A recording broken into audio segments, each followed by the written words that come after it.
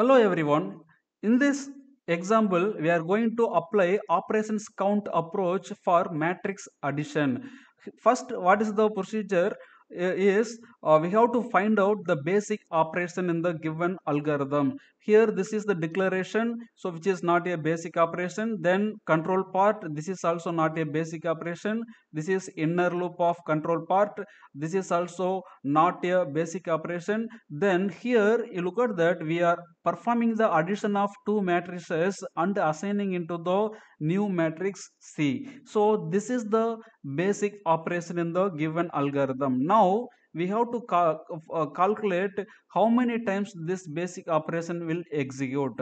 Look at this. Uh, this uh, row will execute uh, n minus one number of times okay n minus one number uh, n minus one number of times it will get inside the for loop at the nth time at the nth time it will not uh, it will execute it will exit it will exit and so for n minus one number of times uh, it will uh, get inside the loop. In the inside the loop we are having the inner loop j which is also will execute for n minus one time. So for this a operation okay so for uh, the for loop uh, for i okay it will execute for n minus one time.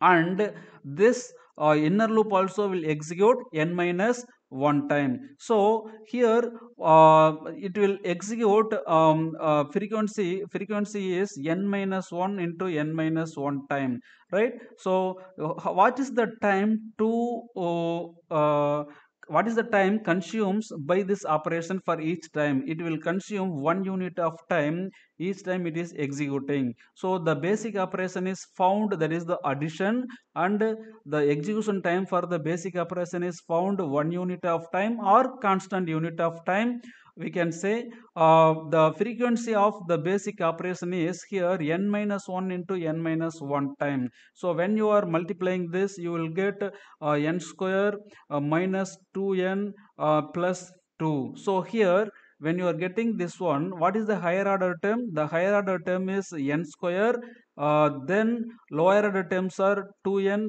plus 2 so as per the uh, algorithm analysis procedure we can ignore the lower order terms 2n plus 2 then higher order term is n square. So the basic uh, operation is executed for n square time. What is the time it is consuming for uh, uh, for executing each time. So constant amount of time. So here it is a 1 so 1 into n square we are getting the n square. Finally the upper bound for time complexity for this algorithm is big O of n square. The as per the uh, operations count method here which is not considering other portion of the operations. So that is one of the limitation in the operations count because it is considering only the basic operations in the written algorithm. Thanks for watching